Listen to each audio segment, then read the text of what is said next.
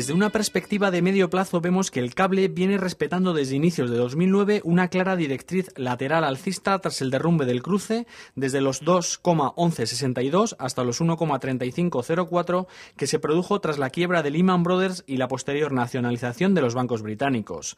Más a corto plazo vemos que la libra viene lastrada desde el verano pasado por los problemas de deuda en la zona euro. El área es el principal socio comercial de Reino Unido y la crisis de la primera le afecta de manera directa. Del mismo modo, la búsqueda de refugio ante la crisis favorece al dólar. A corto plazo vemos que el precio, tras acercarse a la directriz, está rebotando siguiendo los pasos del eurodólar, con el que tiene una elevada correlación. Está por ver si puede consolidar por encima del nivel psicológico de los 1,55.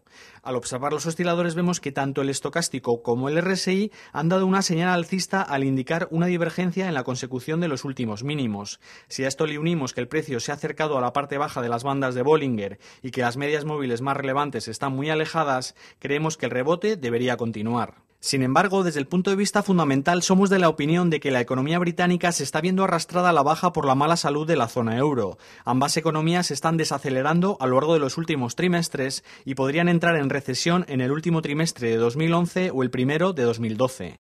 En el otro lado de la balanza tenemos a la economía norteamericana, que está dando señales de fortaleza gracias a la demanda interna. Tanto el consumo como la inversión están fuertes, según nos señalan los más recientes datos del PIB norteamericano. Dadas las restricciones impuestas en el terreno fiscal, la respuesta política a la crisis en Europa está provocando que el peso del estímulo recaiga sobre los bancos centrales. En el ámbito monetario, el Banco de Inglaterra ha sido especialmente activo en las medidas expansivas de carácter extraordinario al poner en marcha un programa de compra de activos que alcanza los 275.000 millones de libras. Muchos analistas estiman que el BOE se va a ver forzado a ir más allá de esta cantidad, mientras que la Reserva Federal no puede justificar el QU3 a la vista de una macro más benigna.